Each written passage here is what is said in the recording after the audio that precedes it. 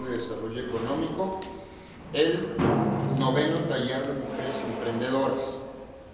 Este taller se implementó a fin de darle oportunidad a mujeres emprendedoras que comienzan con su, su primera empresa para darles los conocimientos, los vínculos para que puedan continuar en sus proyectos de negocios.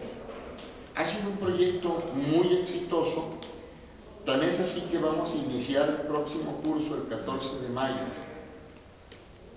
Para las mujeres que estén interesadas en adquirir los conocimientos que permitan a su proyecto emprendedor tener mayor viabilidad económica, generar los vínculos que necesita su empresa para poder acceder a créditos, para poder acceder a proveedores, para poder acceder a clientes que el Instituto Municipal de las Mujeres y que la Dirección de Promoción Económica están ofertando.